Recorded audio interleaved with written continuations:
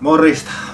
Joo, minä olen Olli-Pekka Heiskanen ja olen tässä Kajanin seurakunnalla ja infosin tuossa aikaisemmin tämmöistä linnunpönttö tota, ideasta, mitä nyt ollaan sitten vähän lähdetty jatkoon jalostamaan. Että katsotaanpa ensin mitä mä silloin aikaisemmin infosin. Ja tähän olisi tarkoitus sitten miettiä, että miten saadaan niinku,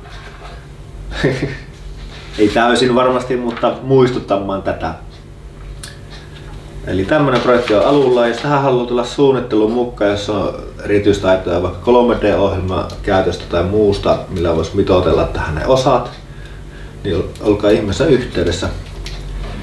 Ja tosiaan nyt ollaan ö, tässä vaiheessa, että me on saatu tämmönen, tämmönen tota karkea versio, joka on erittäinkin tota, tälle niin tehty vaan ihan mittasuhteita tähän niin kuin, mittasuhteiden takia, että näemme vähän, että tuota, minkä kokoinen sitä on tulossa, jos tekee sen tuota, tämän pöntön, mikä on jo olemassa oleva tuote, niin sen päälle sen mitoituksen mukaan mittasuhteisiin. Ja tästä näkyy kivasti tuo kirko kellotapuli tuolla.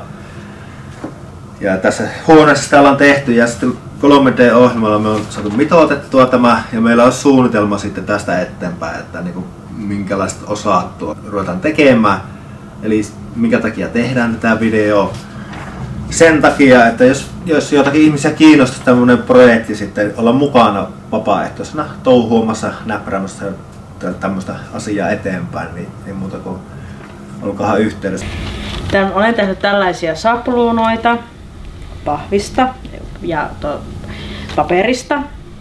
Ja sitten nämä on laminoitu tämmöisiksi ja sivu, sivuseinät ja takaseinät.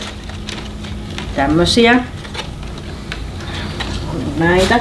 Ja näistä on sitten tarkoitus tulla sitten vaneriin painaa nämä ja tehdä siitä sitten fyysisesti sille pöntölle tämmöiset seinät. 3D-ohjelmaa on piirretty toi niinku mallinnus ja sitten siitä saadaan tarkat mitat. Ja nämä on sellaisia haastavampia osia, niin sen takia on tota, näistä tehty sapluna, että pystyy piirtelemään sitten vaneeriin. Tämä tuli käymään täällä kirkko puupajalla, täällä nämä Sansa, Sansa lähetystyön pojat tekee kaikenlaisia tuotteita, mitä tuossa käytiin, käytiin vähän haastattelemassakin heitä. Ja tämä linnunpönttöprojekti, niin tässä tuli taas vähän jatko-osa tälle videolle, kun tämä etenee täällä. Ja pidän kädessäni tätä linnunpönttöä, tästä puuttuu vielä katto.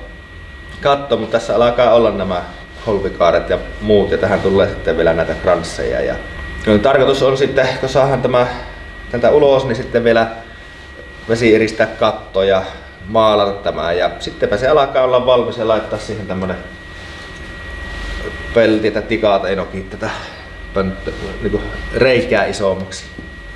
Mutta tässä tämä homma etenee ja tässä tos, jos teitä kiinnostaa tämmöinen projekti vapaaehtoisena, niin tota, yksi haastava homma olisi 3D suunnittelu siihen ristiin, mikä on täällä päällä. Eli sitä ei ole vielä saatu tehty, mutta kyllä me sitäkin siinä värkkäillään pikkuhiljaa, mutta tämmönen. Kiitän.